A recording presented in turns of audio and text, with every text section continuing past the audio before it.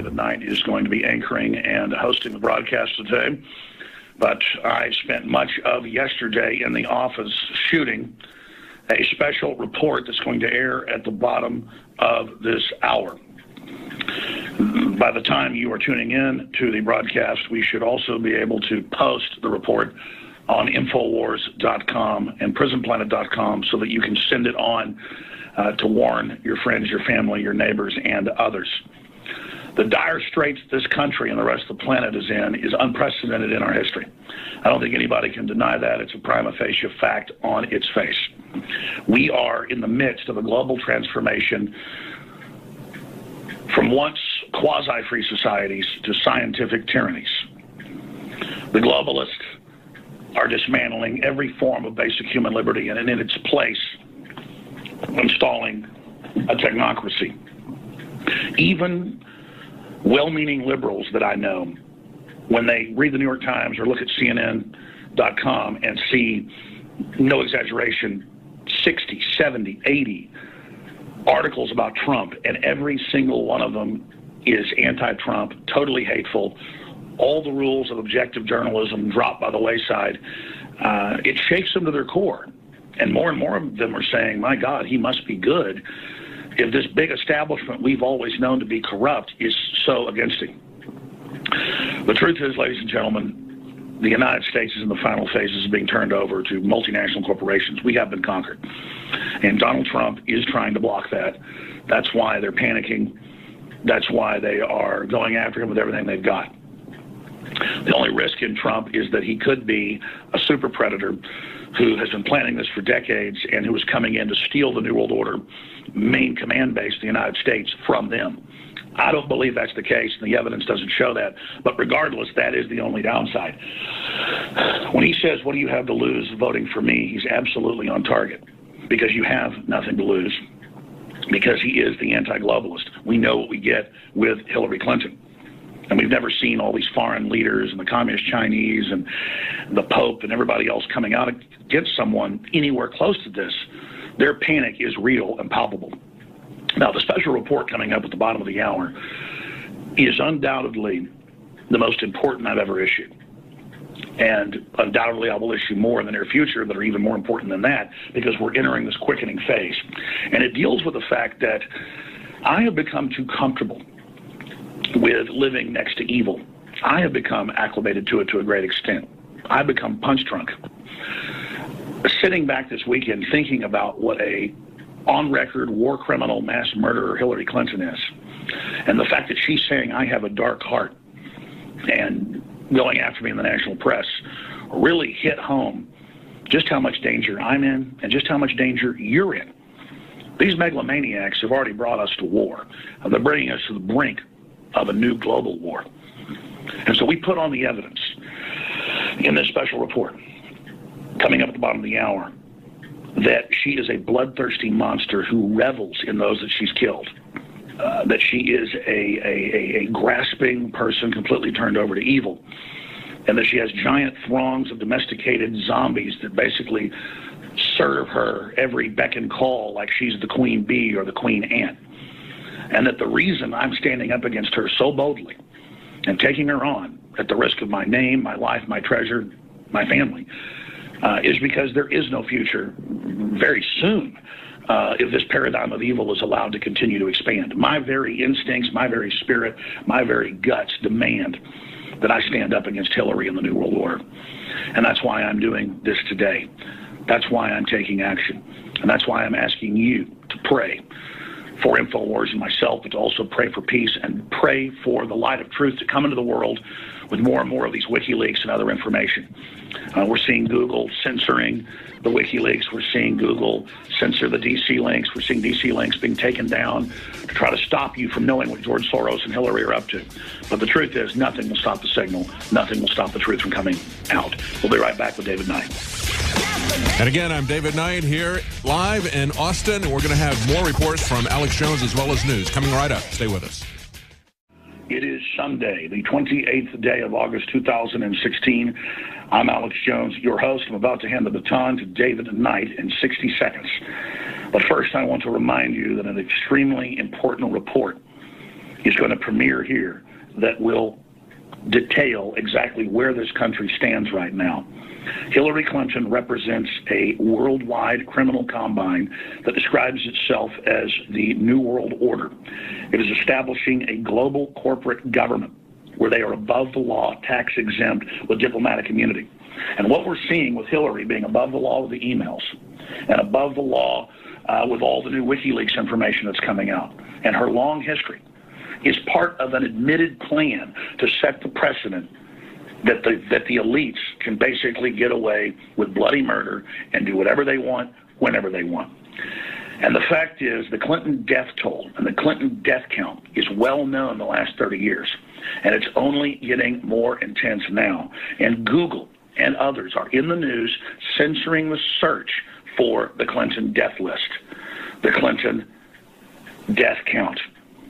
We're even seeing other forms of political suppression and persecution, like Dr. Drew getting fired from CNN less than a week after he talked about Hillary uh, and her medical records looking like her doctors are doing a terrible job uh, and that he would like to help her um, because the medications her records say that she's on absolutely are incredibly dangerous to be taking together and nothing makes sense.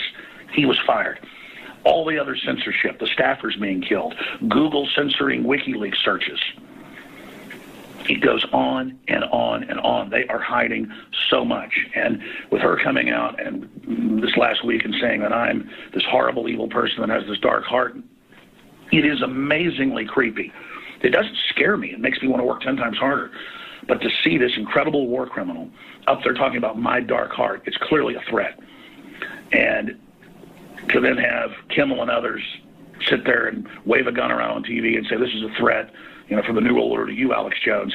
They know it's seen as a comic relief by their viewers, but it's not comic relief um, because it's being directed by the Clintons. Just like they're directing the mainstream media, they're directing these propaganda offensives we see uh, every night during late night comedy. That's been admitted. And they think they can intimidate everyone. She thinks that she's a bully and that everybody's going to back down to her because she threatens them. I know she's dangerous. I know her controllers and the people she represents have had people killed. It said the Clintons don't kill people, but people that get in the way of the Clintons die because of the interests they represent. That's absolutely true. I want to state it on record. I'm doing this because I care about my family. I care about the future of this country. I'm doing this because somebody has got to stand up against evil. And when you don't stand up against it, it gets bigger and bigger and bigger and more and more out of control, like it's now done. And so understand something, Hillary. If anything happens to me, you and your controllers are the prime suspects. And I know now you think you're above the law, so why do you care? Maybe you want to send a message by getting rid of old Alex Jones. Bottom line, everybody knows it's a serious issue and that the Clintons have the thinnest skin in politics. So I want you and your controllers to understand that I am conscious of this and I'm doing this because I'm the opposite of people like you. I'm not a parasite. I'm not a bully. I'm not a coward. And I can't sit back and watch you dismantle this nation, go after our Second Amendment, and bring us into a world government and put Obamacare on people's backs that absolutely bankrupts them and is designed to make this nation nothing but a bunch of part time workers that can only dream of a better future through government. Somebody, just like our ancestors did, standing up against King George has to stand up against you. I'm going to hand the baton to David Knight, broadcasting from the Infowars.com News Center in Austin, Texas. All right, and that was Alex Jones. We're going to have that report that he's putting together. We're going to have that in the second hour. Make sure that you stay tuned for that report. You know, it is uh, August the 28th, 2016. That is 268 days since Hillary Clinton has had a press conference. I think we need to do something like Ted Koppel did with the, uh, uh, what was it? He had the Nightline uh, show years and years ago. If you remember, uh, if you're old enough, what happened was the Iranians took the American embassy hostage. And so they did a special report to talk about it that night. They came back the next night. This is night number two of the Iranian hostage situation. They kept going and kept going and kept going. Finally, when it was nearly a year or a little over a year, I forget how long uh, they were there. Sorry, but the, the however long it took. They have been doing this special report, leading off their news every night, talking about the Iranian hostage situation that was never resolved. They did that for so long that they kept the program with Ted Koppel, called it Nightline. You know what we need to do? We need to start the program, I think, every day Instead of the uh, Star Wars theme song, we need to come in with the Nightline theme song from uh, 30, 40 years ago. And we need to uh, say how many days Hillary has held America hostage, kept us in the dark because she's running away from questions. She hasn't taken questions from the press in an open give and take. It's been prepared, uh, scripted, uh, engagements with the press or with her podcast. And she hasn't done that since December the 5th. And so we need to call her on that. We need to call her on that every day. You know, we had some people just this last week. Uh, she was at an event, and the, the press was very timid, gathered around here with their cameras. They were afraid to engage her, to talk to her. She's sitting there, somebody's offering her chocolate. Finally, somebody has the temerity to ask her a question, and she just looks at them and says, Have some chocolate. You know, as I said on Friday, it's kind of like uh, uh, Forrest Gump, you know. Uh, a press conference is like a box of chocolates. You never really know what you're going to get. So what Hillary took away from that is to run, Hillary, run. Run away from the questions and just make sure if you're a reporter that she doesn't offer you some Turkish delights from her supporter, Fethullah Gulen. If you know what I'm talking about with uh, Narnia, you know what I'm talking about uh, with Hillary Clinton. We're also going to talk in this segment, we're going to talk about uh, BleachBit.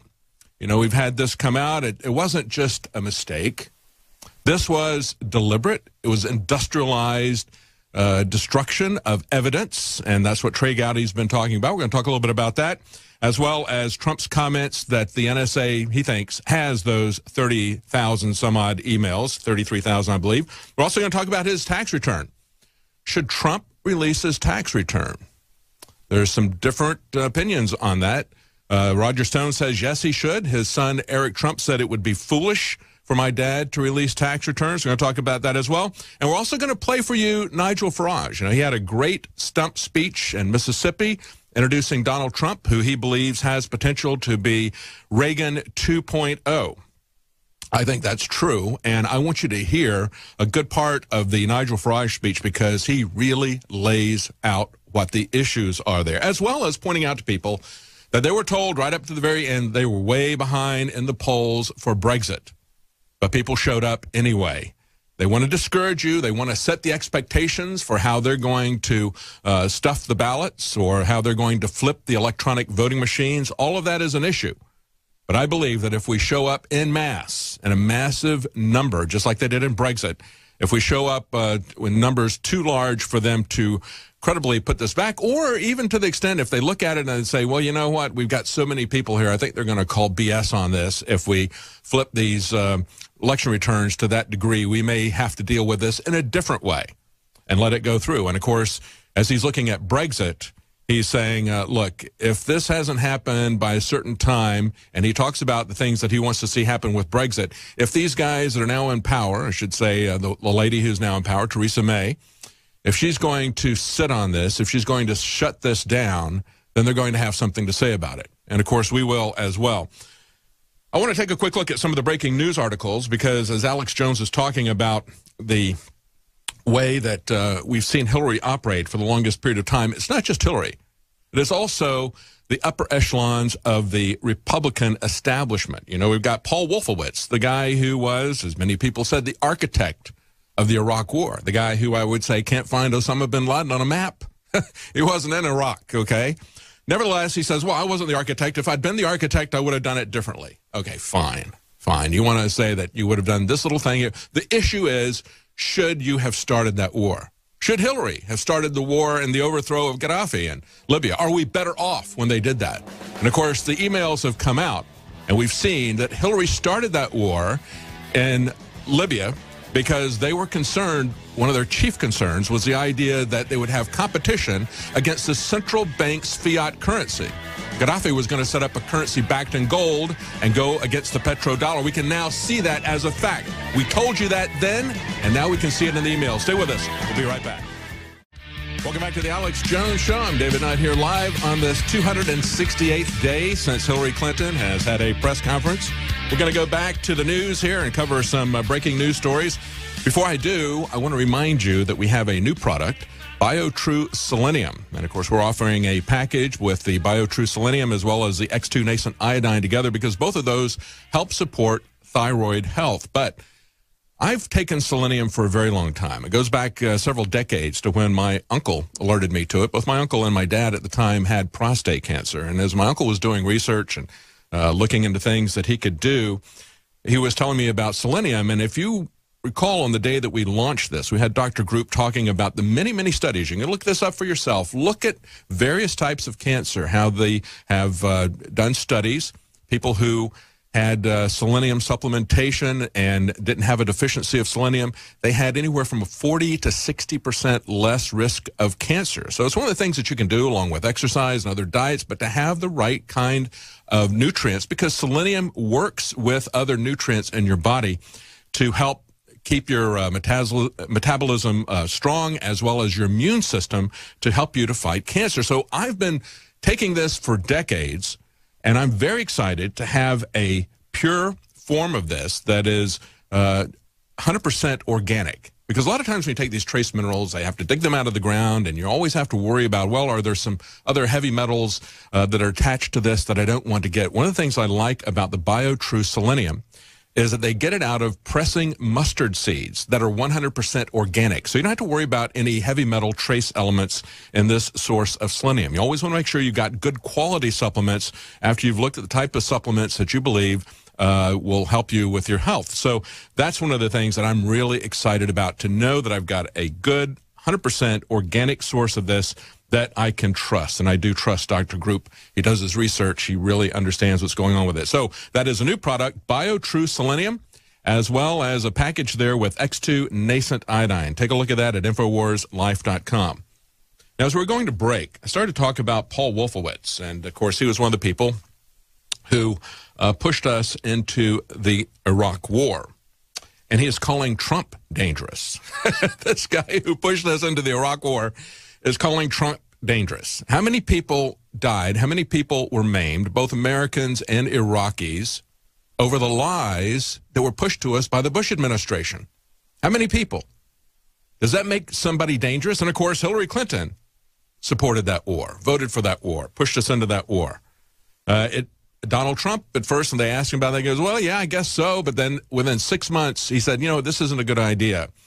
And people realized very quickly that we'd been lied to, but they kept it going. The whole idea that Wolfowitz and these other dangerous neocons are pushing is this idea of nation building. But of course, in order to build a nation like they would like to have, they have to first destroy a nation. That's the problem, one of the many problems with their nation building. And you know, after you go in and destroy somebody's country, they're not usually too receptive to your suggestions about how you ought to rebuild it. And that's going to work that way here in America as well. We see what you're doing here in America. We really do. I want to say to the globalist elitists in both parties, we really do understand your plan for destruction. And we're not going to let you do it if we can uh, stop that. But if you do it, we're not going to be very receptive to your plans on how you want to rebuild it either. You know, that, that's the key thing. Wolfowitz says, well, you know, it's complicated for me to come out against Trump. But, you know, Trump says that our policies are responsible for the mess that we've got in Iraq. And it's like, yeah, that's right. And it's that speaking truth to power that Donald Trump has done that has endeared him to so many people, criticizing their insane nation building policies. And you know what? When I see the Republican elitists uh, saying, I'm with her, especially people like Paul Wolfowitz, it sounds more and more like I'm with war because you know what? They really are. And this is also an amazing article that uh, Drudge had up today from the New York Post. Huma Abedin's mom has been linked to some shocking anti-women statements as well as an anti-woman book. And who would have thought? Who would have thought this lady who has been involved with the Muslim Brotherhood, who has been involved with so many different organizations to push Sharia law. And of course, her daughter is the person who is closest to Hillary Clinton. We'll just leave it at that. Okay. We won't probe the full depths of their relationship here, but certainly she is a, let's call it close assistant to Hillary Clinton. And yet these people, here, here's Hillary Clinton basing her entire campaign on the fact that she's a woman, that this would be a step forward for women. And yet she has these people pushing Sharia law, which is the most anti-feminist thing you can find on the planet. Okay. She's got people like the Sharia lawyer who criticized Donald Trump, that she chose to speak before she accepted the nomination. One of the reasons, of course, she didn't want to be upstaged by anybody like the president or the vice president. Uh, so she made sure that uh, there weren't any big time politicians speaking on the night that she took her nomination because she really isn't that good a speaker. Uh, she really doesn't think on her feet. She doesn't want to take questions from the press, as pointed out. 268 days and counting since Hillary Clinton uh, took any questions from the press. But as the New York Post points out, uh, while she was Secretary of State, she went to Saudi Arabia to an Islamic girls' school here in this Wahhabist state that we support. And, you know, we talk about ISIS and the caliphate that they want to set up. Remember, when we talk about this, that Saudi Arabia has executed more people than ISIS has. Okay, and they continue to do it at a higher rate in terms of beheadings and so forth. And why do they do this? Okay, they've got lashings and stonings for adulterous women. That's what uh, Huma's mother was uh, promoting in these books. Even the circumcision of girls. Okay, this is what her mother is promoting in both the magazine that they had as well as the books that she's promoting. And of course, the Sharia lawyer who had a son who was killed in uh, Iraq. This is a guy who himself has talked about many Sharia books and how this is the path to uh, to justice and to human rights. Nothing could be further from the truth. In 1999, Huma's mother, Saleha, translated and edited a book titled Women in Islam, A Discourse in Rights and Obligations. Uh, no, actually, you, want, you don't even have the right in Saudi Arabia where she's teaching as a woman. You don't even have a right to drive a car. So they have this, and we've reported on this multiple times, they have a park that opens up just to women one night of the week where they can go in, dress normally without the burqas and that sort of thing, and drive bumper cars. Not real cars, bumper cars, okay? And they can uh, eat whatever they want. They can uh, take a look at movies because there's no men allowed that night, okay? That's how repressive this institution is. And yet, listen to what Hillary did, okay? This is Huma's mother translating for everybody so that we uh, get the gist of it. Yeah, there you go. There's the picture of them in the bumper cars and their burkas, the burka pumpers, okay? Uh, but she publishes this book and edits it, and the book explains how the stoning and lashing of adulterers, the killing of apostates, sexual submissiveness to their husbands, and even female gen uh, genital mutilation are all permiss permissible practices under Sharia law, and actually they advocate that, okay? And Clinton, after this is published, goes to Saudi Arabia in 2010 and says Americans have to stop stereotyping Saudi women as oppressed. And don't assume all American women go to the beach in a bikini. That's Hillary Clinton's phrase right there. We'll stay with us. We'll be right back. Welcome back to the Alex Jones Show. I'm David Knight, your host on this 268th day since Hillary Clinton has had a press conference. We were just talking, though, about the fact that she was able to go to Saudi Arabia and address an all-girls Muslim school that was founded by Huma Abedin's mother, promoting Sharia law. And when she went there, she said to them, uh, all American women don't go around in bikinis. And you know what? If they get their way, nobody is, okay? American women are going to be going around with a hood over their head, or they're going to get a beating like they do in Saudi Arabia from the religious police. Understand that this woman who says that she is the epitome of feminist achievement is sucking up to these people pushing the most repressive regimes against the very groups that she is pandering to in the United States, her core constituency. She likes to divide the population into black versus white, into women versus men. Okay, and then she talks about she stands there for the LGBT, LGBT crowd, and yet she promotes a system of law where they're thrown off the roof, where they're executed. That's what she's doing here. She's going to the very people who promote Sharia law. She's got Sharia Khan, the lawyer, speaking for her on the night she gets the nomination. And of course, if Hillary Clinton gets her way, she is going to create a war here. You know, we're seeing this in Europe. We see that um, Angela Merkel, who really is a harbinger of what Hillary Clinton is going to do to this country if we let her. We've got this article today from Breitbart. One million Muslim migrants under just the first term of a Hillary presidency.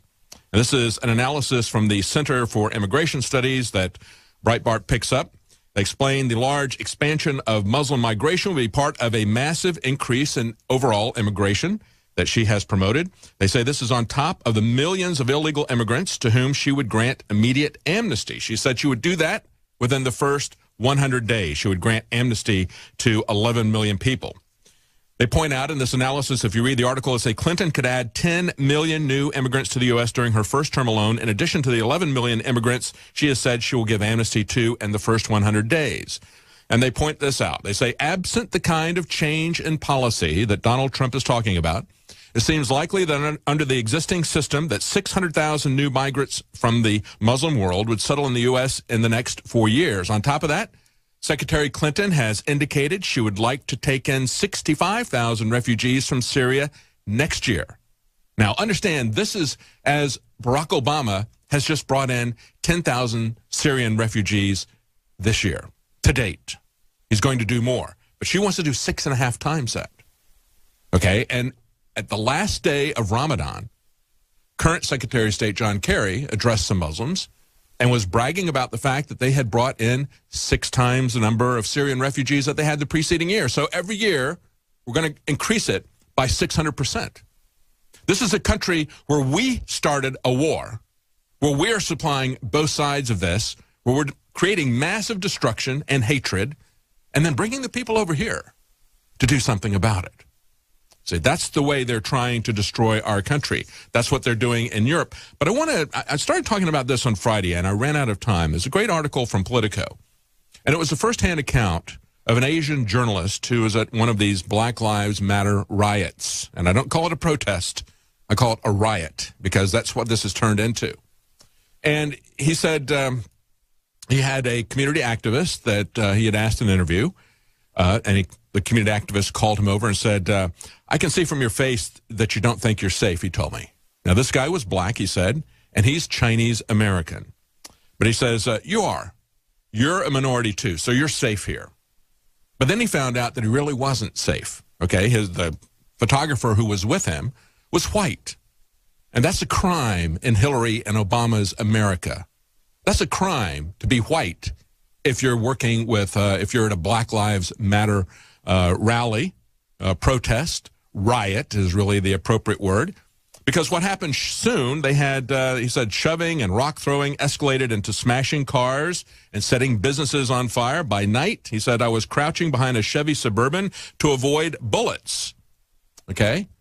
And another intern that was with him was a white man, he said, who arrived later on to take photos. He said he huddled beside me He said after the gunfire ceased, he got out from behind the car to take more pictures while the writer stayed behind.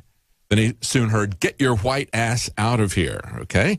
Said after trying unsuccessfully to defuse the situation, my colleague was flying down the street with a group of men chasing him. He said, I wanted to help, but I didn't know how, so I decided to run after them. He said, in order to run faster, my colleague dropped the two bulky cameras that were hanging around his neck. When I tried to retrieve them and yelled at him to get out of the area, some of the group of rioters started chasing me. He says, I wasn't surprised when they caught me. Then they threw me to the ground. I reflexively curled up into a ball. Blows began landing on my back, my head, and my torso until somebody yells out, Stop! He's not white. He's Asian. He gets a pass. Obama's America. Hillary's America.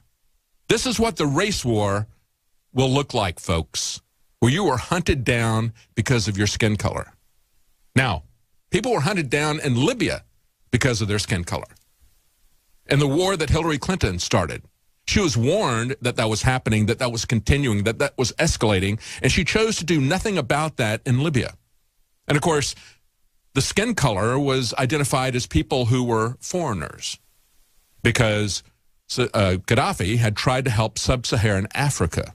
He tried to get them independent of the neo colonialists. And I say neo, you know what? They never stopped colonialism. it's still the, you know, they were appealing to the French and said, yeah, we can get the French on our side because the French don't want to lose their influence in the area. They don't want to see uh, Gaddafi take away our fiat currencies and hurt our central banks that don't have anything backing them. He's putting out a, a gold-backed currency that is going to denominate oil sales, and we can't have that. Tell the French that. They're going to join with us. That's what Sidney Blumenthal was uh, telling Hillary Clinton.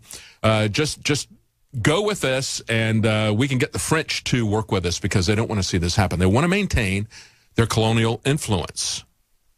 And so what was happening in Libya was they would identify these quote unquote foreigners and shoot them on sight. Shoot them on sight because they would shoot them because they're black. Here, you're chased down and beaten uh, severely unless they discover that, oh, he's not white, he's Asian. And he said, that voice struck in my head, stuck in my head over the next few days as I talked to relatives and friends about it. It belonged to a woman who'd come up to me in the afternoon scrum and said, You're Asian, right?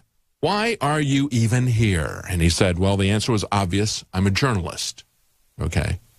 But uh, this is Hillary's America. This is where these people want to go. This is the pattern of hatred, of chaos that people like Hillary Clinton and George Soros and others want to create in this country. We can see how it's happening already in Europe. As I said before, it is a harbinger of what they're going to do here in America if they're allowed to continue these policies. And um, we have to understand this is the tactic of globalism. They want to do nation building here in the United States.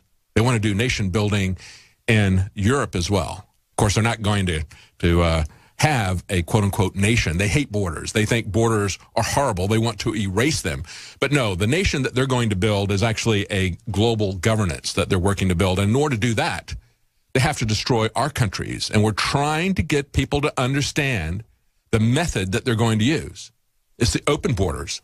It's the multinational corporate trade agreements that they have put together. And I would include in that and have in the past the climate trade agreements that are put together by the multinational corporations who are going to be benefiting from these carbon taxes, these carbon credits with the panic that they've sown amongst the people.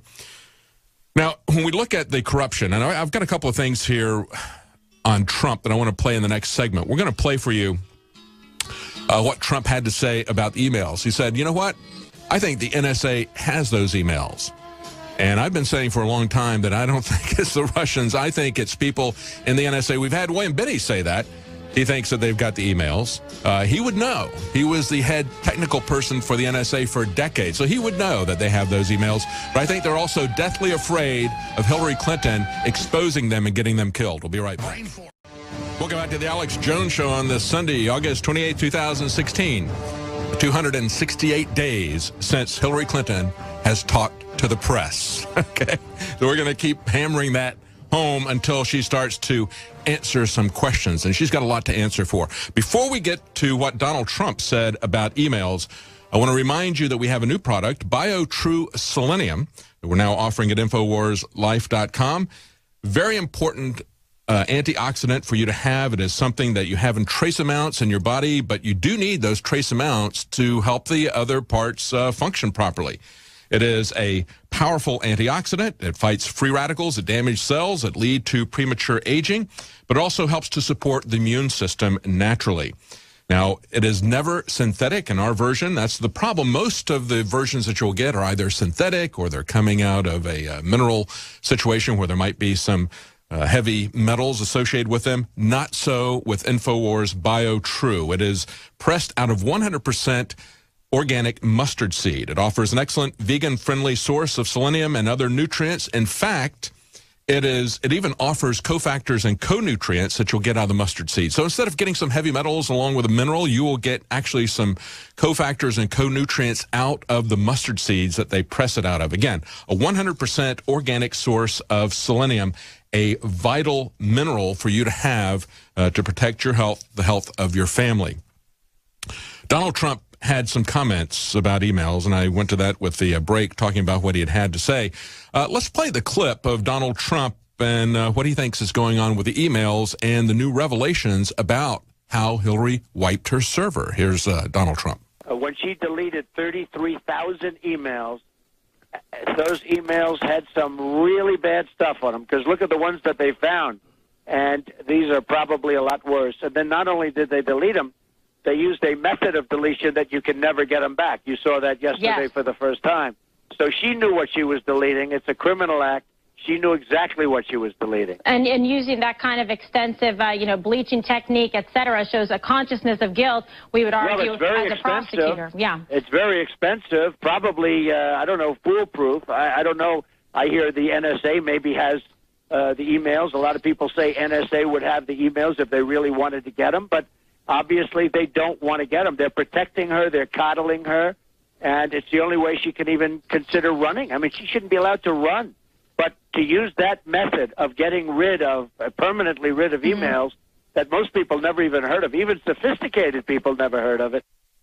Yeah, even sophisticated people have never heard of it. You understand what's going on when you delete stuff, okay? Well, let's talk a little bit about the technical aspects about it because you've got the tech company that uh, has now come out that she used are bragging about the fact that they blocked the FBI from investigating Hillary Clinton. Okay, maybe that's a point of honor for them. uh, how did she do this, and why would she do this? Look, it goes to intent. Now, remember that when uh, FBI Director Comey said there wasn't any criminal intent, okay, this was not done accidentally. This was done very deliberately and done in a way to prevent recovery. Understand that when you accidentally erase something, let's say you take something and you throw it in the trash and then you empty your trash, what happens on the computer is that it doesn't actually erase the data. What it does is it erases the directory to where the data is. When you store something on a disk, usually it gets fragmented into different segments and the directory is actually a series of pointers. So it points to the first part of your data, then that data points to the next segment and where that's located on the disk and so forth. So when you erase these files, you can buy a lot of programs out there right off the shelf then, and maybe you need to know this in case you accidentally delete something. If it's a text file, like these emails, it's pretty easy to recover it. What they do, uh, these recovery programs will actually look at the data and build the chain backwards, okay, to reconstruct the directory. And they can get that information uh, off of the disk because it's still there. With programs that eradicate the uh, the data, and I believe this is the way. I haven't looked at Bleach BleachBit specifically, but I know how these uh, uh, shredder programs will work. Is they will go out and actually write over the disk. It's a very time consuming process. It takes a long time to do that. You can delete stuff, as you know. You can delete your files very quickly, but if you really want to take the stuff out and eradicate it completely, you have to sit there and write a series of just rewrite the disk, the entire disk. It is a very, very long process. So it is something that has to be done deliberately. It is something that is very, very time consuming. And of course, as they uh, brag, they, they stifle the investigation from Hillary Clinton. Zero Hedge pointed this out. They said, uh, as Trey Gowdy revealed that Hillary Clinton had used a software program called BleachBit to wipe her servers, Trey Gowdy said, you don't use this for your yoga emails, okay? She likes to tell people those 33,000 emails that she got rid of, that was just personal business, you know, kind of like uh, her yoga routines and her daughter's wedding plans and so forth. Uh, it's hard to believe there were that many emails about that kind of information, and yet they deliberately overwrote this stuff. He says when you're using BleachBit, it's something you do because you don't want anybody else to see it, just as I just explained. You know, she says she's uh, wiped it like with a cloth or something. You know, no, it was really more like uh, the way she bleaches her hair, okay, to completely eradicate what was there. So you can't see that. BleachBit points out that they're receiving overwhelming interest from folks who are looking to permanently erase yoga and bridesmaids emails and or other similar incriminating information. Okay. Meanwhile, we see them pushing back. And it's interesting that as DCLeaks went down, this is an article that we've got at Infowars.com from the Daily Caller. DCLeaks website went down this weekend. Their Twitter account was suspended. These are the people who published the information about George Soros and others. Uh, you can see, oh, at least you could see before when they had that information up. Uh, you could go through various emails. You could see how he was plotting to get the LGBT people in Italy, for example, angry at their national government and embracing the European Union because they said, hey, the European Union is friendlier to LGBT, so therefore let's eradicate the Italian state. Okay, that's the way George Soros plays. And there was a lot of very interesting uh, things that came out of that, along with the $650,000 that you saw him contributing to Black Lives Matter to create uh, chaos and a race war here in America. But the people who put that out, DCLeaks, their website was taken down, their Twitter account was suspended. They got their website back up. But interestingly enough, the Soros section uh, was down yesterday when this article went up, and it is still down as of early this afternoon when I checked. Meanwhile, uh, the DNC chair, Donna Brazile, longtime Clinton crony, says we are victims of a cyber crime led by thugs. Now, she says, We're victims of cybercrime, and she uses the term thugs. And we got in trouble when we said that about people who are burning down buildings. But of course, if you're going to uh, burn down your data and do these other things, that's one of the things Trey Gowdy said. You know, she said there's uh, a lot of smoke, but no fire. He goes, No, it's really more like arson that you can see going on there. Donna Brazile said, the notion that we're going to let some person put out personal sensitive information across the world, jeopardizing people's privacy, and we're interviewing him as if uh, he's going to have a smoking gun. Since when do they care about people's privacy? These people who keep everything dark, hidden, and secretive, okay? It's people like the Clintons and the Bushes who have created WikiLeaks. So you know what, Donna Brazile, if you don't like WikiLeaks, you got nobody to blame but yourself. WikiLeaks and Julian Assange are there. Why? Because you treat everything as a deep, dark secret. Hillary Clinton talked about the dark corners of the web. No, what is dark and what has gone dark is government, specifically the federal government. Everything is hidden for the most part because you want to create crimes. You want to cover up your criminal activities. That's why you hide everything. That's why you treat everything as if it's national security, unless it actually is national security. And then you put it on your own private server because you're more concerned about concealing your own private Machiavellian dealings than you are concerned about people's lives that are at risk, people that are part of the NSA who are doing something real. That's the way they have perverted this. Demanding to know every detail of the people's lives but denying that we have a right to know anything about them. As we pointed out last week when she said, there's a lot of smoke, but there's no fire. Remember, it was just a couple of months ago we learned from Huma Abedin's emails and from testimony with Judicial Watch uh, taking her testimony, we learned that Hillary Clinton was putting her schedule in the burn bag. And we had a guy who'd worked for multiple administrations, who had been a UN ambassador uh, from the U.S., as well as working for many secretaries of state. He said that by law, was supposed to be public information, the Secretary of State. And yet Hillary Clinton is putting that in her burn bag. What has she got to hide? Nothing but her criminal activity. We'll be right back. Stay tuned. We're going to have a special report from Alex Jones coming up in the next hour. Welcome back to the Alex Jones Show. I'm David Knight. We're going to have a special report from Alex Jones in this hour. We're also going to be playing for you some excerpts from the speech that Nigel Farage gave in Mississippi, a great speech laying out the principles that we're looking at here. Because you know what happened in Britain with Brexit? One of the reasons that uh, we were so excited about uh, the Brits taking back their control of their economy is because that truly is the issue.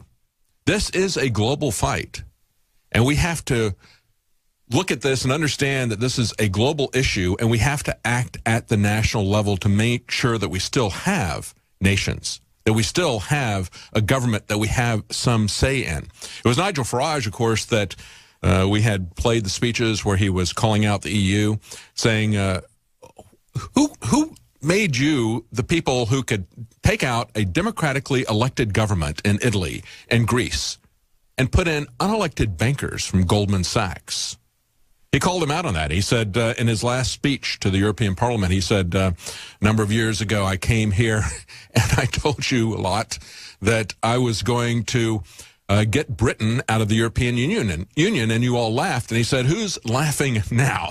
And of course, uh, that is the key issue. Are we going to have our country, our economy, controlled by people who are not even in the country, by globalists who are not answerable to the people? That is truly what is happening and what is at stake with the transatlantic, with the trans-Pacific partnerships. These deals were written by multinational corporations and their lobbyists without the input of our elected representatives. As a matter of fact, our elected representatives were not allowed to see it until it was completed. They were not allowed to talk about it. They're not going to be allowed to uh, do any kind of amendment to it or have any kind of a debate or have any say so as to whether or not it's going to come up for a vote. Once they want to pull this up for a vote, is going to be brought to the floor. They have already passed a law, the Trade Promotion Authority, which subverts the whole constitutional process of passing a treaty. A treaty is supposed to be passed in a certain way. It's supposed to be passed by the Senate with a two-thirds majority. They don't have those votes in the Senate. So what they decided to do was they would have a simple majority in both houses. that they would shut down any filibusters, that they would shut down any amendment, that they would shut down any debate after they shut out our elected representatives in terms of creating this. And it's not simply an economic issue. It's not simply about jobs. It has so many different aspects. It controls, it has, it affects our internet freedom. Has controls there for the internet. It has controls that would uh, shut people down from putting blocks up against uh, GMOs or other things that they're concerned about in their country because our economies are not going to be managed by the countries. They're going to be managed by a group of unelected people. And once we pass this, that committee will be able to include any other country like China. We're told that this is a move to protect ourselves against China. Not true. China can be added very easily by this commission, just as they can change every one of the uh, aspects of the uh, of the trade partnerships, as they call it. They're actually treaties. Those treaties would then be living documents, as Jeff Sessions has pointed out. So this is an issue, just like Brexit, where the European Union was telling British fishermen who had fished for generations, for centuries in their own waters, saying, sorry, you can't fish there, and you're not going to have any say as to the level of fishing that is going to happen in those waters. We're going to be the ones who decide that. We're not isolationists. We simply want to control our own destiny. We have a right to do that. So when we look at this and we look at these other issues, that is really what is before. So we're going to play uh, Nigel Farage's speech and just real quickly before we go to break. This is an example of the corruption that we have in this country. Always the whistleblowers are the ones who are attacked when they expose wrongdoing. Here is an article from the Daily Caller. LA VA hospital lost 30 cars. Guess who got in trouble? The guy who reported it. Okay, they lost 30 out of 88 vehicles and official credit cards. And instead of the guys who lost it going to jail or getting in trouble, the guy who reported it got fired. Even though they had people that didn't get fired who had bracelets on them because they'd been involved in armed robbery. They were still having them come to the VA. Stay with us. We'll be right back. Welcome back to the Alex Jones Show. I'm David Knight. We're going to have Alex joining us with a special report at the bottom of this hour. Before we do, I want to talk about tax returns. I know you probably don't want to hear about tax returns, but Hillary Clinton wants to hear about Donald Trump's tax returns. And we've had people inside the Trump campaign or friends of Trump uh, on both sides of this issue. I want to take a look at what some of the people are saying. Of course, we had Roger Stone last Monday come out and say that he thought that Donald Trump should release his tax returns immediately. And of course, Roger Stone uh, is an avid Trump supporter. He wishes him well. He's not criticizing him for not releasing the reports. He believes that there's nothing to see there and that it would be a gesture to people to say, look, I'm here's full disclosure. Here's my tax returns. Meanwhile, Trump's son said on Wednesday, two days later, it would be foolish for my dad to release tax returns. He said you would have a bunch of people who know nothing about taxes trying to look through and trying to come up with assumptions on things that they don't know anything about. It'd be foolish to do so. I'm actually the biggest proponent of not doing it. And they point out that uh, Hillary Clinton last summer released her tax returns from 2007 to 2015, and Tim Kaine also released 10 years of returns this month. Okay, let me explain something to you. First of all, Hillary Clinton has carefully crafted her tax returns for public consumption, okay? That's not where she hides her money. That's not how she does her dirty deals, okay? She does her dirty deals inside the Clinton Foundation, as we're learning, as the AP has to take her to court, as Judicial Watch has to take her to court, as WikiLeaks has to expose her dark Machiavellian plots, okay, how she gets her money. They put out their tax returns so that they look, they look uh, squeaky clean.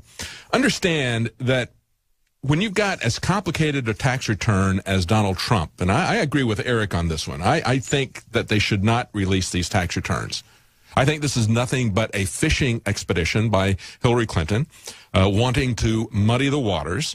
If you go back and look at what Money Magazine used to do, I used to subscribe to Money Magazine decades ago. And uh, I've got a report that I went back and found uh, 1990, 26 years ago. This is from the Pittsburgh Press. Headline here Hard to figure. 48 of 50 experts flunk a tax return test, okay? And what they say is ask 50 tax experts to calculate the federal taxes of a make believe family. Now, this is a family's tax returns, not as complicated by any means as the multiple businesses that Donald, Donald Trump owns. A make believe family, and you get 50 different answers, most of them wrong. Every year, every year, Money Magazine would get a group of 30 to 50 tax accountants. They would give them a tax return that was a little bit complicated, but still it was just an individual's tax return. It wasn't even a business tax return. It wasn't a tax return that involved multiple huge businesses like Donald Trump has. Every year they would do that. Every year they would get 30 different answers or 50 different answers. All the tax accountants would give them a different answer. In this particular case, they were asked to look at a family that was making $130,000 a year. And they came up with figures that said that they owed between $9,800 and $21,000 in taxes all over the place. Now, Money said they thought the correct answer was 12,000. Okay. When I, I remember years we'd look at it and they would have situations where the 30 tax accountants would look at it, 30 different answers. Some of them would say, Hey, you get back uh, $20,000. Others would say you got to pay $20,000. All right. They say, although the family had some tax problems most Americans will never face, uh, some of the experts badly fumbled basic items. They say the 35 CPAs and eight independent enrolled agents and two non-CPAs and five preparers from chains like H&R Block charged fees that ranged from 271 to $4,000 and there was no logical connection between the fees charged and their performance. In other words, here's the bottom line, folks. If you want to paraphrase Joseph Stalin who said, Bring me the man and I'll find the crime. Today, what Hillary would say is, bring me the tax returns and I'll find the crime. See, a law that is sufficiently complex is the same as having no law at all. And that's the way our tax system works. Uh, this is something that has gone on for a very long time. If you got that complicated a tax return, yeah, it, this is something that is simply going to be a fishing expedition to take attention away from the Clintons. But look at this article. Going back to May this year, we had the Washington Post say Donald Trump did once reveal his income tax returns, and they showed that he didn't pay a cent. Is that a problem? You have a problem with that? I don't have a problem with that. See, there's a difference you have to understand between tax avoidance, which is legal, and tax evasion, which is illegal. But see, you can't even get the vast majority of the American public to understand that. Because as we've seen with that viral video between uh, the young black man and the older black man, it, it, the older guy could not even understand the difference between legal and illegal immigrants. Couldn't understand it. He couldn't make that distinction. So how are people going to understand the difference between taking legal tax deductions why, why would you want to pay the government more, one cent more? Why would you want to pay? I say, good for him. You know, I remember talking about Money Magazine. I remember Business Week. Uh, my dad used to get Business Week, and I would read it when I was in uh, college and high school. I remember a story that was in Business Week, and they were talking about what was wrong with Europe, what they called Eurosclerosis. We call it socialism. it means that the economy is calcified and paralyzed by overregulation, which we now have in America as well. But there was something else that was in Europe. And one of the European people they was talking to said, you know, America has a different attitude. He said, if you see, if people in Europe see a really nice car parked along the side of the road, they resent it. There's an envy there. They want to key it. They want to scratch it with their key. Okay. They, they really hate the person who has that. In America, he said, the difference is people look at a car like that and say, someday I'm going to have one. See, that's the difference. And when you got the Washington Post out there saying, ah, he didn't pay any taxes. It's like, I aspire to the day that I don't pay one cent in taxes, okay? And that they don't send me to jail. I do it in a way that I don't go to jail, all right? And I understand all of you who are going to write us about this. I understand that there are people who out there trying to make the case about the tax system, the corruption that's involved there that want to opt out. I understand that. I'm not going to fight that battle. I've got other battles that I'm fighting. So yeah, I understand that. I've read that and other people can look at that. You understand that we operate in a system where the government doesn't really care what the law is. You can debate with them what the law is, but right now you're looking down the barrel of a gun with the IRS. They point out a disclosure, this is back in 1981 by New Jersey gambling regulators, revealed that Donald Trump had for at least two years in the late 1970s taken advantage of a tax code provision that was popular with developers that allowed him to report negative income. See, it's, it's not illegal. It was something that was in the tax code, and he took advantage of it. And good for him. But see, that's a good example of how they would use this to attack him. People who don't understand it, people who envy what he does, his success, and just the complexity of the whole system. They could make, they could spend from here to the to uh, run out the clock, as Hillary Clinton wants to do, going over a fine tooth comb and pulling things out of context out of his tax return. I think it would be a huge mistake to do that. But let's take a look at the Clintons, okay? Here's an article from 1994, March 30th, 1994, from the Baltimore Sun. Cheer up. Taxes boggle the Clintons too. They confuse the Clintons as well. Again, Money Magazine looked at the Clintons' federal income tax returns from 1980 to 1992. They estimated that for those years, they believed they underpaid the IRS by $16,000. But don't worry, Clintons. Today, that would be worth, uh, they said in, in, 1994, that would be worth uh, $45,000. But don't worry, the Clintons would get away with it because of statute of limitations. They run out, they said, at that time in three years. They said, though both the Clintons are sophisticated lawyers. Boy, are they sophisticated. Yeah, they're sophisticated. Sophisticated liars, I think is what they meant to say. Uh, they didn't keep adequate records. No, really?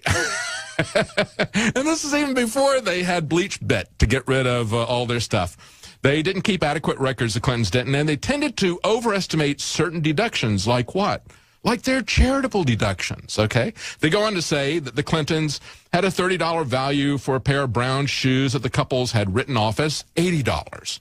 They also knocked down long underwear from $15 to $2 when they were looking at some of their deductibles. You know, that was back when the Clintons were just petty criminals, you know, taking a deduction of $80 for their shoes when they only paid $30 for them. Now they're very sophisticated criminals, okay? And they said part of the confusion was because of whitewater. If you don't know what whitewater is, tonight your your homework assignment is to go look that up. Google whitewater. Find out what was going on with that. Stay with us. We'll be right back. Alex Jones is going to be joining us as a special report. Welcome back to the Alex Jones Show. I'm David Knight, your host today. This is the 268th day since Hillary Clinton has openly taken questions from the press. Looks like she's going to go through the entire campaign without doing it. When she did that, they hadn't even had the first primary, and we've gone about 80% through the campaign schedule. Looks like she's going to run the clock out on this thing without taking any live questions from the press. Don't let her get away with it vote her out of public office. That's what we need to do. Look, we're going to have a special report from Alex Jones about Hillary Clinton and her long background. And uh, we're going to play a uh, part of the speech that uh, Nigel Farage gave at the Trump rally. Interesting speech, too, because as he uh, talked about the experience and the aftermath of that uh, in the Daily Mail, he said a very rattled and anxious looking Hillary Clinton responded to what he said and attacked my presence on the stage with Trump. She trotted out a series of willful misrepresentations of things that I had said. No, really? Hillary Clinton trotted out a willful misrepresentation of what he had said. that is her MO. That's what she did with uh, Alex Jones as well. And you know what? Uh, draw attention. That's good, Hillary. Draw attention to Nigel Farage. Draw attention to Alex Jones. Um, uh, if we were Brer Rabbit, we'd say, uh, don't throw us in that briar patch. guess that's going to work out really good. She has just pointed out in the last couple of days two of the most powerful speakers who will directly uh, attack Hillary Clinton and tell you exactly what this woman is about. So we're going to play that uh, for you in just a moment. Before we do, real quickly, I want to let you know about our new product, BioTrue Selenium. And of course, uh, this is the essential trace mineral that we all need, but in a very, uh, a very clean form. It's 100% organic mustard seeds that they press this out of. So you don't have to worry about any residuals of heavy metals or anything like that. And as a matter of fact, you get some good cofactors out of that organic mustard seed that they press this out of. It's a high quality source that plays a role in the natural function of your reproduction, reproductive health, your DNA production, and even your eyesight. Uh, selenium is an essential trace mineral that you need to make sure that you have uh, in your uh, particular supplementation as well as your family's supplementation. Again, that's the new form BioTrue Selenium that we're now offering at InfoWarsLife.com. Let's go to this speech from Nigel Farage. Nobody, I think, uh, contemporary speaks like Nigel, Nigel Farage as well as uh, debates like Nigel. Uh, let's play this speech that he gave at a Trump rally in Mississippi. Thank you very much. Well, thank you. good evening, Mississippi.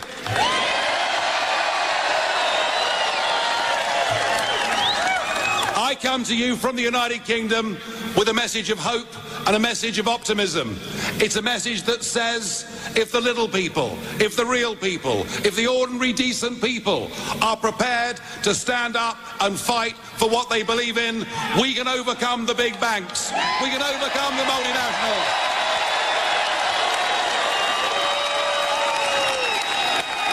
And we did it. We made, we made June the 23rd our Independence Day when we smashed the establishment. And we did it. Everybody said we'd lose. And what did we see? We saw experts from all over the world. We saw the International Monetary Fund. We saw Moody's. We saw Standard & Poor's. We saw global leaders giving us Project Fear telling us that if we voted not to be run by a bunch of unelected old men in Brussels, yeah, well, it's okay. They don't like me either, so it doesn't really matter, does it?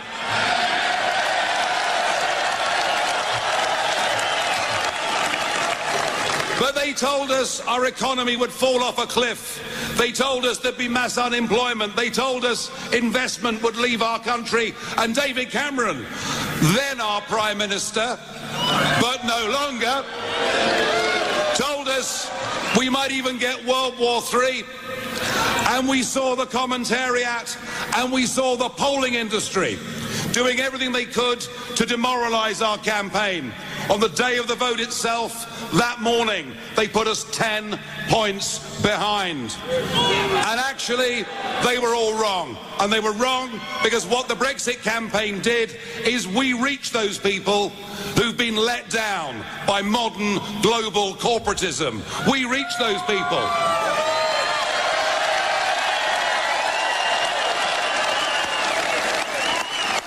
We reach those people who have never voted in their lives but believe by going out and voting for Brexit they could take back control of their country, take back control of their borders and get back their pride and self-respect.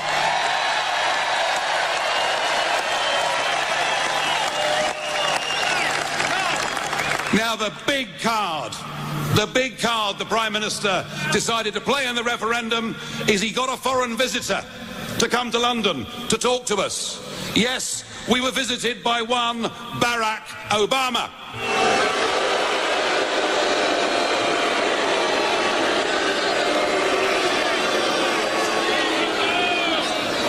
And he talked down to us. He treated us as if we were nothing.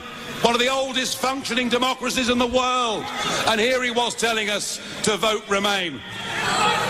So I, having criticised, having criticised and condemned his behaviour, I could not possibly tell you how you should vote in this election.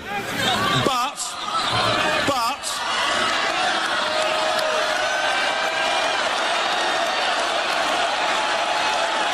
you know, I get it, I get it, get it, I'm hearing you. Uh, but I will say this. If I was an American citizen, I wouldn't vote for Hillary Clinton if you paid me.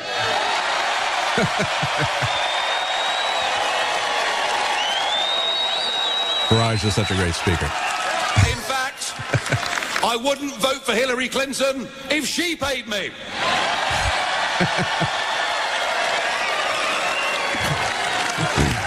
The message is clear. The parallels are there. There are millions of ordinary Americans who've been let down, who've had a bad time, Yeah. who feel the political class in Washington are detached from them, who feel so many of their representatives are politically correct parts of that liberal media elite. They feel people aren't standing up for them, and they've actually, in many cases, given up on the whole electoral process. And I think, I think that you have a fantastic opportunity here with this campaign. You can go out. You can beat the pollsters. You can beat the commentators. You can beat Washington.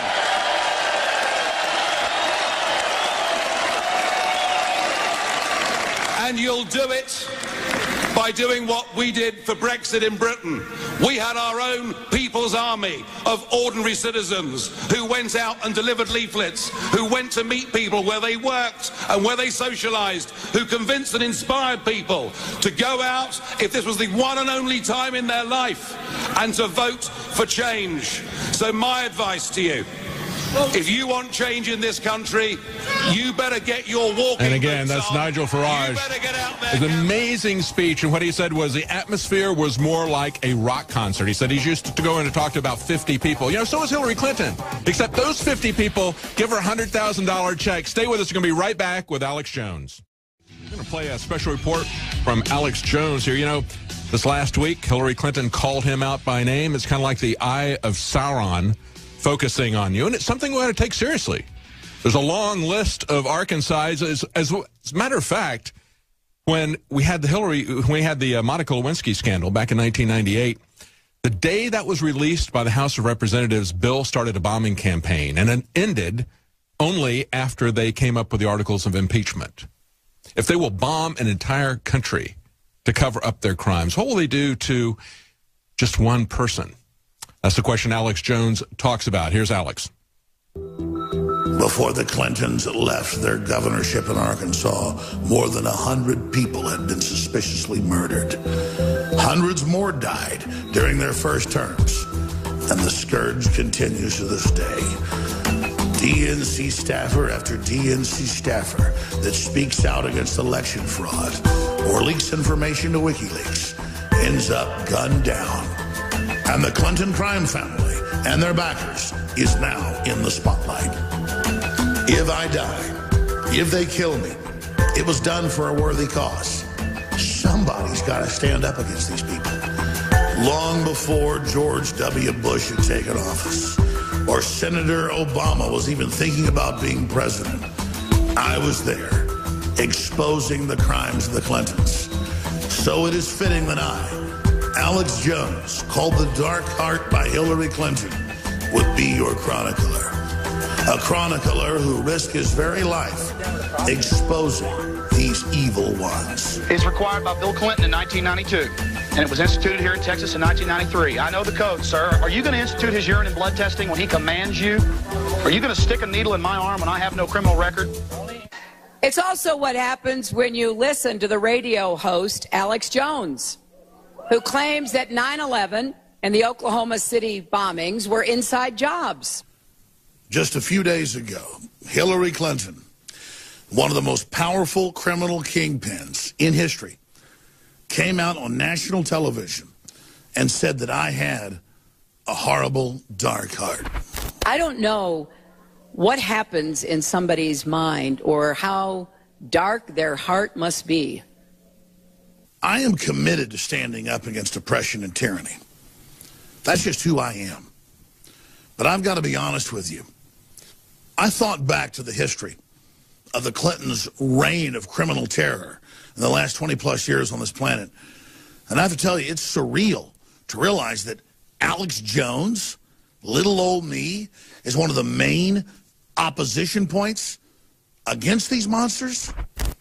It's also what happens when you listen to the radio host, Alex Jones, who claims that 9 11 and the Oklahoma City bombings were inside jobs.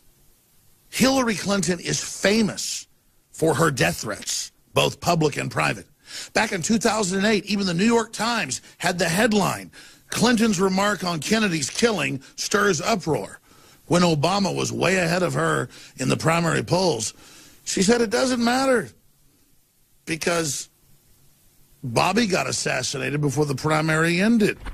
Now, my husband did not wrap up the nomination in 1992 until he won the California primary um, somewhere in the middle of June, June. right? We all remember Bobby Kennedy was assassinated in June in California. This is the type of bloodthirsty rhetoric that we continually see from Hillary Clinton.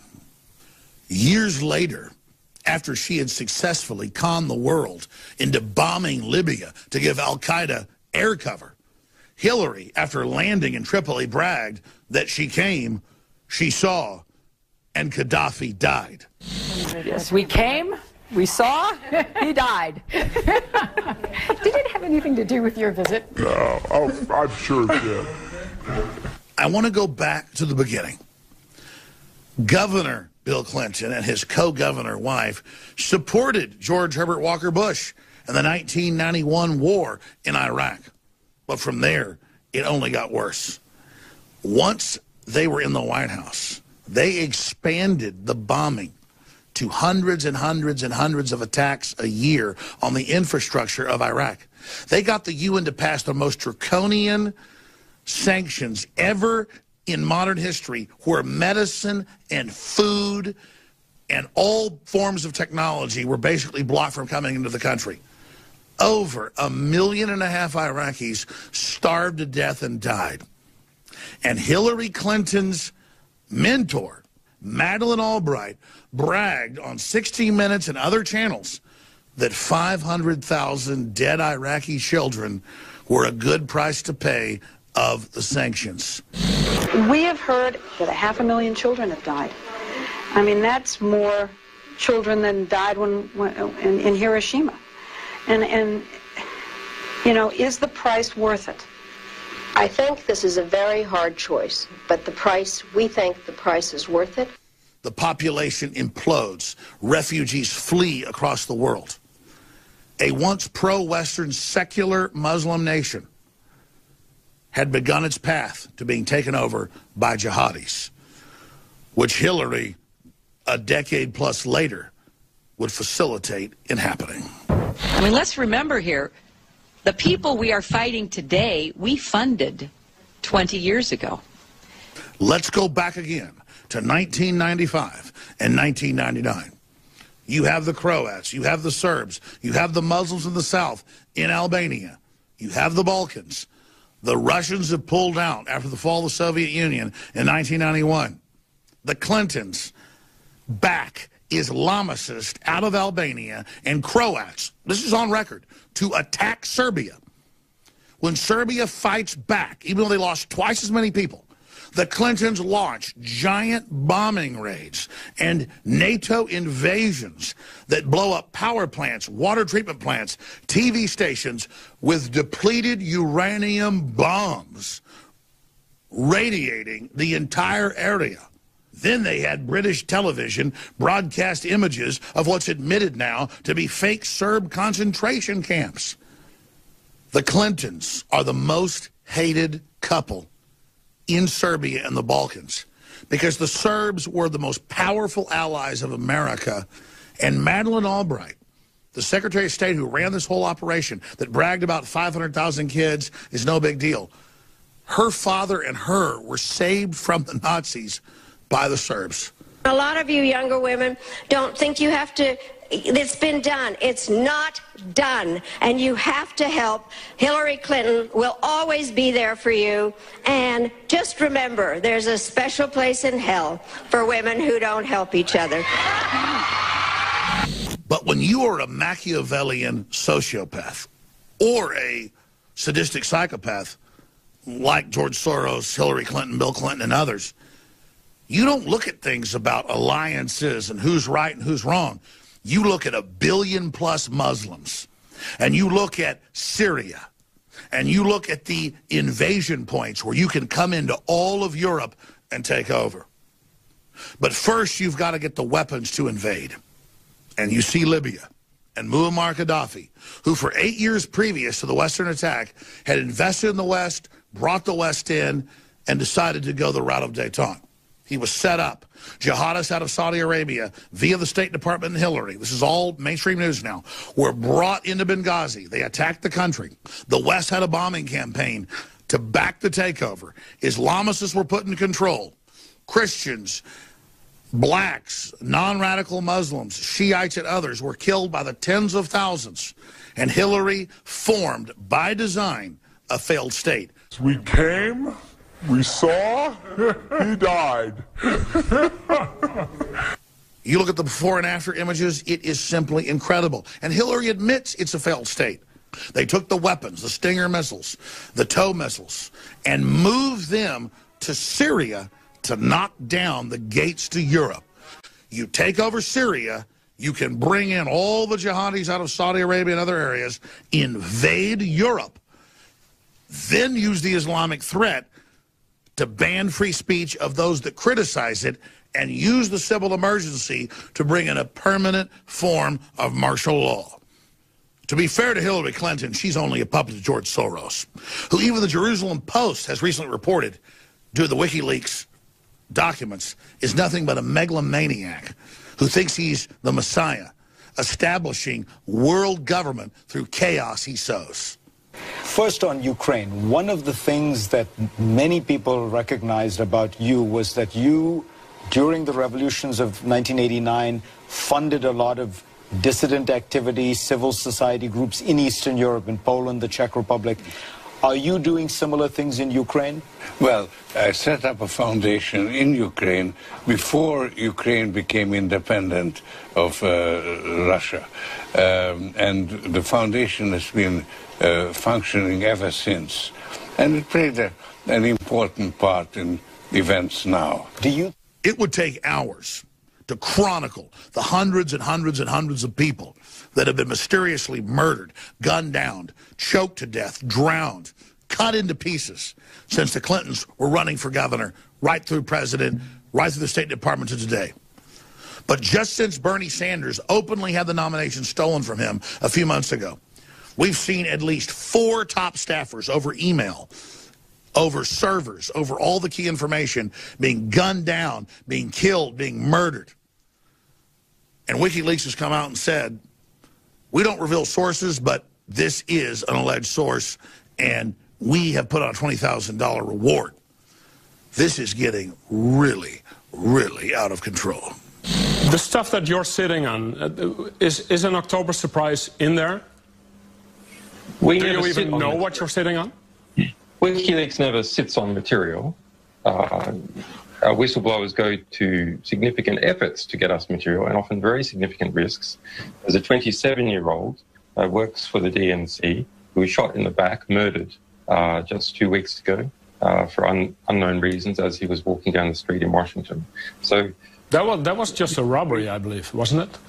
No, there's no finding. So what are you suggesting? Sort of, what are you suggesting?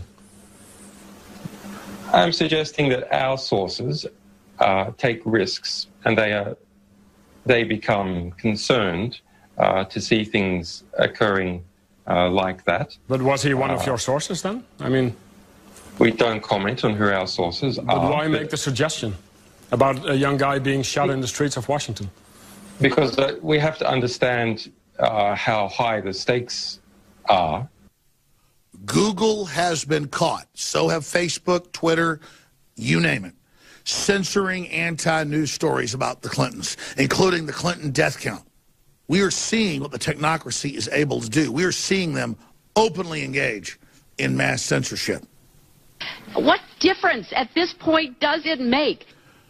In closing, I want to reach out to you with a personal appeal, a free human to other free humans of every race, color, and creed who have the spirit of liberty beating in your breast.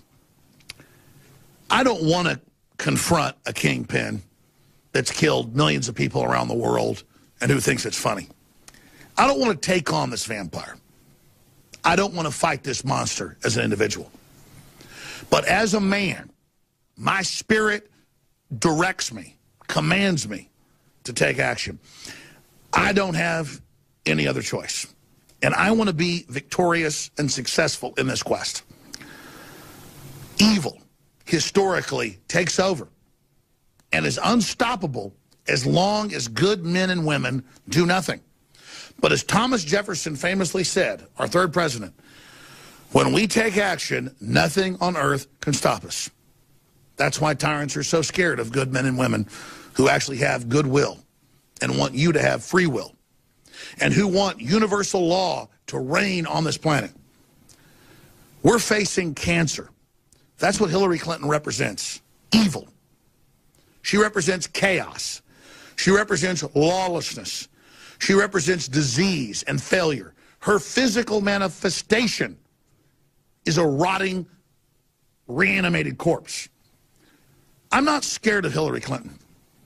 But I am scared of failing in this mission. So I ask you all to redouble your efforts to expose the New World Order.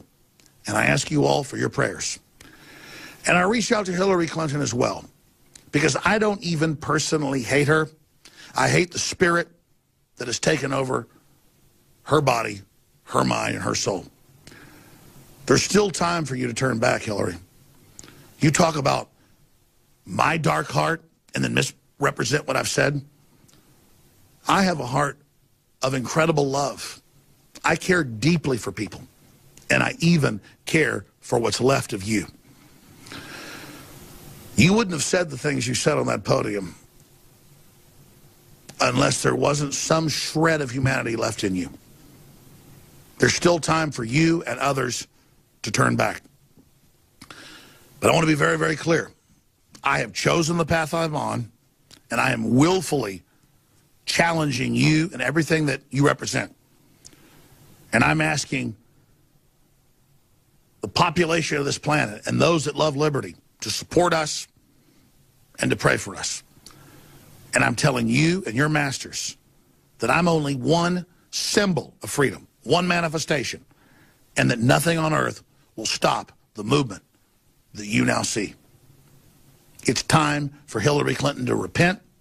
It's time for Hillary Clinton to stop the murder, to stop the killing, to stop licking her lips like Madeleine Albright and herself when they talk about all the dead kids.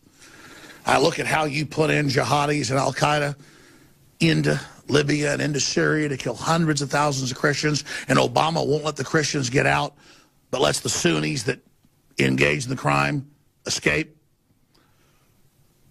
And I just thank God I'm not on your team. So whatever you do to me, that's between you and God.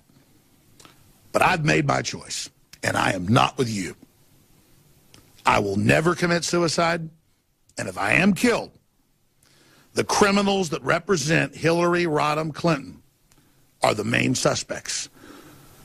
You may have the old rotten, discredited mainstream media that the AP says has a 6% trust rate with the public backing you, Hillary. But I've got common sense and the will of the people behind me. And I'm committed to a cause. And in history, and in this universe, nothing on earth can stand up against that. No matter what happens to this body, ideas and movements backed by truth and liberty are invincible. They are bulletproof. This is the heart of 1776. And again, that's Alex Jones, and we've got the docs to prove that they created war and chaos in Libya. Thanks to WikiLeaks, thanks to Judicial Watch, we now have the documentation as to why they did it. They did it for the central banks. And they'll go to war to cover up for their own scandals. We saw this happening, as I mentioned earlier. Even Huma Abedin's publication admitted that in 1998, Operation Desert Fox was done as began bombing Iraq as the House of Representatives filed a report accusing the president of high crimes and misdemeanors, and it did not end until they came up with the indictment, with the impeachment. Once that happened, it's like, all right, we don't have to keep bombing them anymore. So they stopped raining death down on people just to cover up his sexual predator crimes, his uh, committing perjury under oath. And of course, in 1996, they did it. Same thing. Went into uh, Iraq, bombed people there. Why? To cover up for a finance scandal.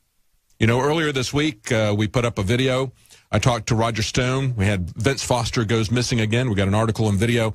In that, we talked about what Sandy Berger did, very much like what Hillary Clinton has done with these emails. Has now come out that they deliberately destroyed these things, didn't accidentally erase them. They deliberately destroyed them. Why? She was given special privileges, just like Sandy Berger was given special privileges in the National Archives to delete uh, documents there that they thought would be damaging to the Clintons. The people who control that said, we made a mistake. We gave them special access, and they abused it. What did he do? He said, I made an honest mistake when he was stuffing these documents in his clothes, took them out, cut them up with scissors, he later admitted, did it four different times, and he called it an honest mistake. Who gave him a pass? It was FBI Director Comey when he was investigating that. Join us again tomorrow at 11 Central for the Alex Jones radio show. Alex Jones will be back. I'm David Knight.